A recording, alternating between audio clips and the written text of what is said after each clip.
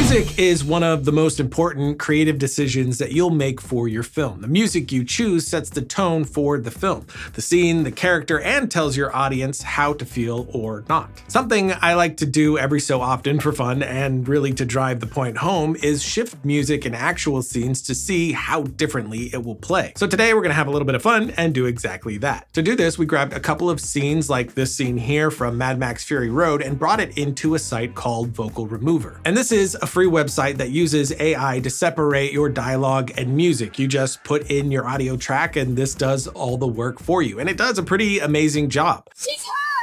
She's Then once you're done, you download the music and vocals in their own individual tracks and you're good to go. However, it isn't perfect. You are getting that tinny sound to most of these. And depending on how much music there is or how close together it all is EQ wise, the software can get more confused and leave you with less than desirable results. But overall, it's pretty impressive and perfect for what we need today. But with Mad Max separated, we can take what is an extremely badass scene and make it feel a bit silly by swapping that music out. So we'll just jump here to Artlist, do a quick search for something like Circus, and grab one of these that makes our heart tickle and toss it in, and then we have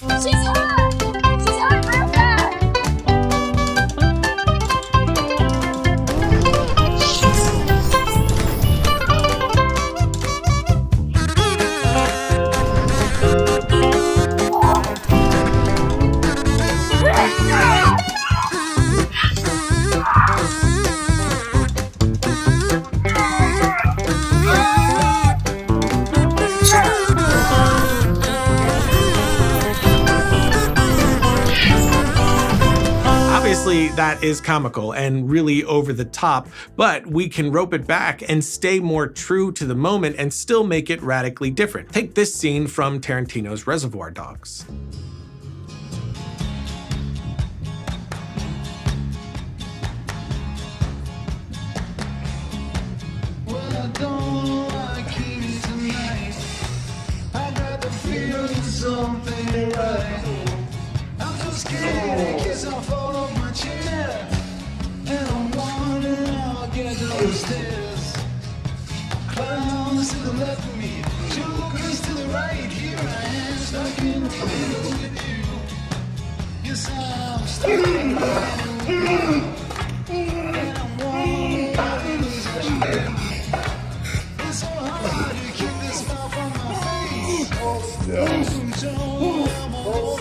It's a great and iconic scene that has a very specific musical choice, and it's that musical choice that made it so iconic. So let's remove that choice and add in something more typical for a moment like this. In Artlist, we'll do a search for horror to find some tense pieces that could work, toss one of these in, and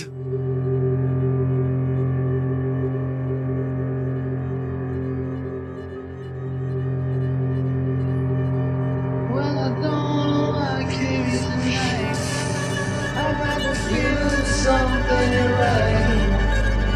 I'm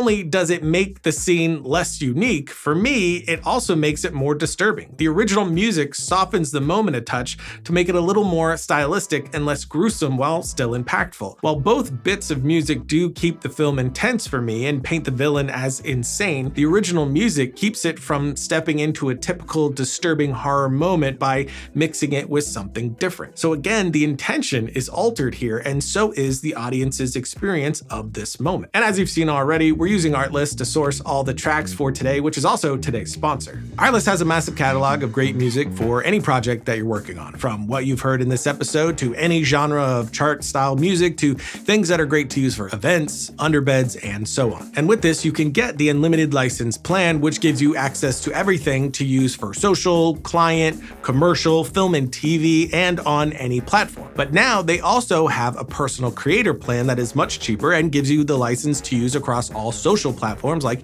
YouTube, Instagram, and so on. And with most of us, that sort of license is going to be more than enough, so it's great to see that there now. And speaking of YouTube, every song is cleared through YouTube, so you know that you don't need to worry about getting a copyright strike before you even put the video up. And as you've seen already, their search is really excellent. Just tossing in a keyword and getting a bunch of options that work right off the bat, they've done a solid job of curating things in the most intuitive way so you can find what you need quickly and get right to work. So check out our link in the notes below. You get two months free off your annual subscription, and of course, it helps the show out. So check that out below. And now let's mess up some more scenes. Logo. Let's do the reverse of what we just did with Reservoir Dogs. Let's grab a tense and slightly disturbing scene and take the edge off with this scene from it.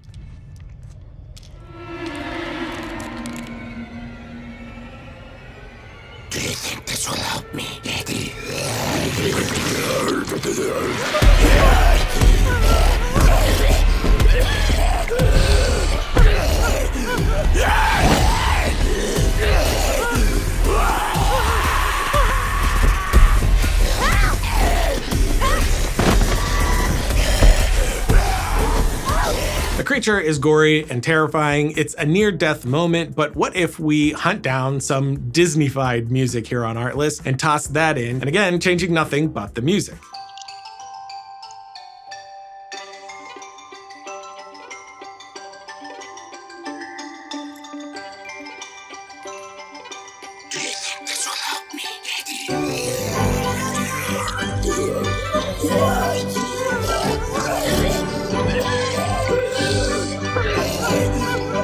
Yeah.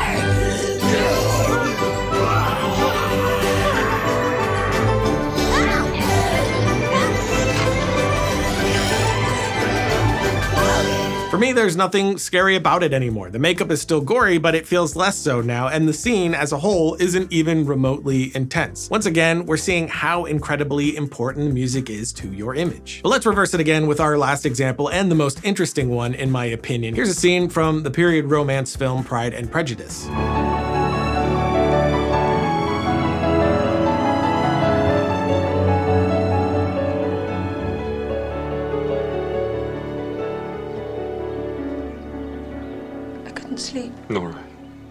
My aunt. Yes, she was here. How can I ever make amends for such behavior? After what you have done for Lydia, and I suspect for Jane also, it is I who should be making amends. You must know. Surely you must know it was all for you. You are too generous to trifle with me. I believe you spoke with my aunt last night, and it has taught me to hope, as I'd scarcely allowed myself before. If your feelings are still what they were last April, tell me so at once. My affections and wishes have not changed. But one word from you will silence me forever.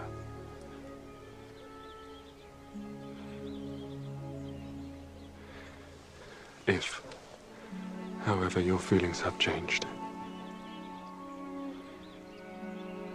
I would have to tell you. You have bewitched me, body and soul, and I love, and love, and love you. And never wish to be parted from you from this day on.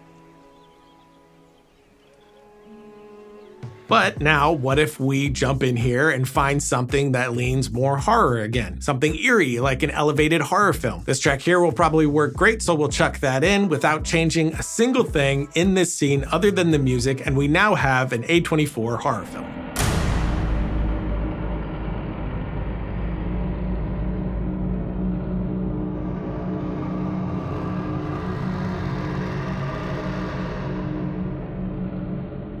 Couldn't sleep. Nora, my aunt.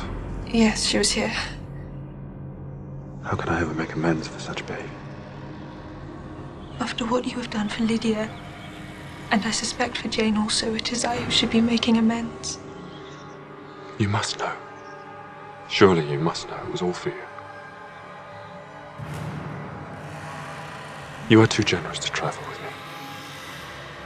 I believe you spoke with my aunt last night, and it has taught me to hope, so I'd scarcely allowed myself before. If your feelings are still what they were last April, tell me so at once. My affections and wishes have not changed. But one word from you will silence me forever.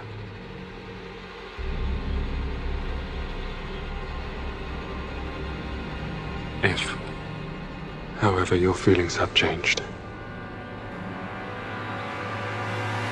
I will have to tell you. You have bewitched me, body and soul, and I love, and love, and love you. I never wish to be parted from you from this day on. For me, that is the funniest and most extreme change because it actually works and reframes the scene. What the characters are thinking and how they feel about each other is entirely altered while remaining effective. If I didn't know already, I could have been convinced that this was some horror thriller. With the original music, this is a romantic scene. She's looking at him with love. But when we change the music, it feels as though she wants to kill him. Even her slight smile here, which in the original is sweet, here it takes on a sinister tone. It is truly incredible the psychological effect that music has on us, and when intelligently mixed with visuals, it can be more impactful than most anything else in your filmmaker toolkit. Even the decision to not have any music is a major decision for your film that will have great impact.